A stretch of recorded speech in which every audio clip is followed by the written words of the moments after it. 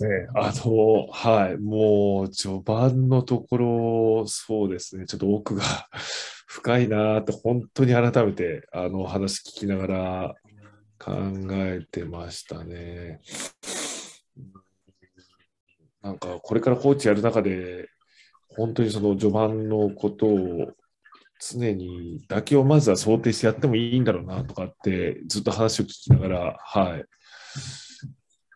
思ってたんですけど、その辺、長谷川さんとかどうなんですかね？のまあ、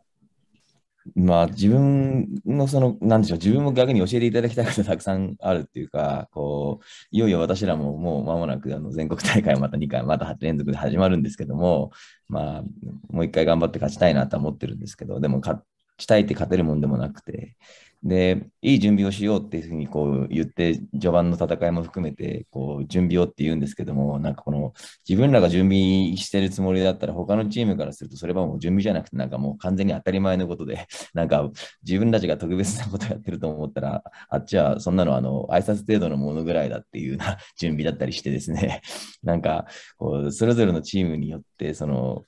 なんかこう幅が違ってあの、なんかすごくこう、比べるのも違うのかなって思ったりするので、なんかその、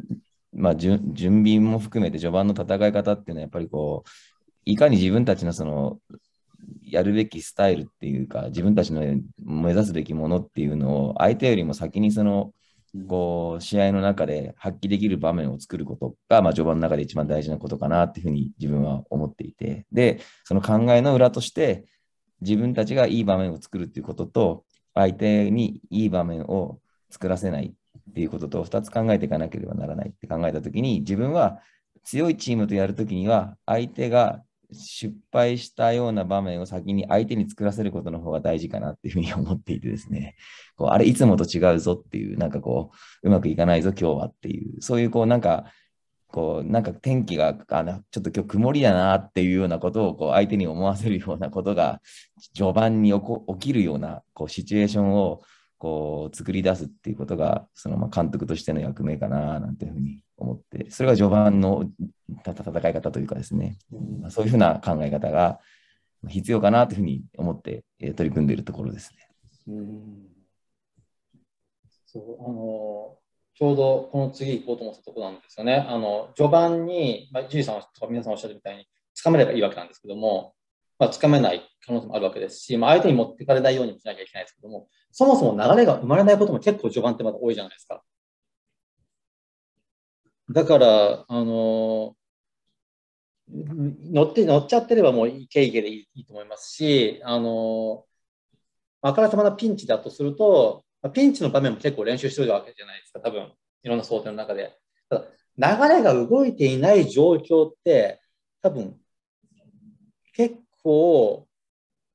難しい。チーム内での想定とかって難しくないですか？そういった中で今、長谷川さんのその、じゃちょっと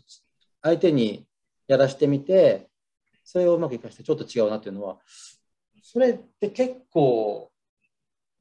トライしやすい、こっち側のわけじゃないけども、相手に流れを持っていかせないための、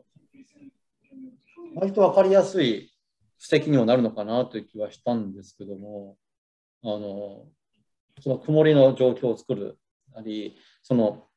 流れが、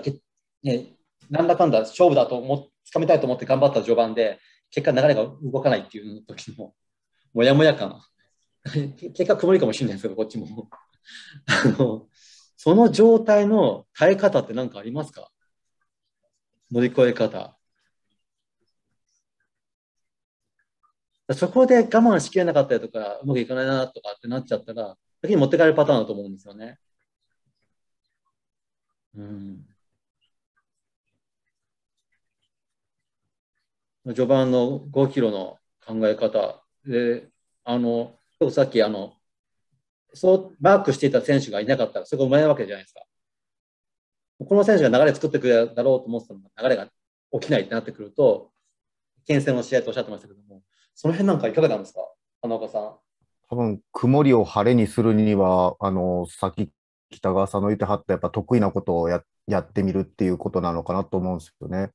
多分、その、いつも通りの動きができたら人間って多分頭冷やせるんだろうなと思うんですよね。動作と心理っていうのは多分連動するので、だか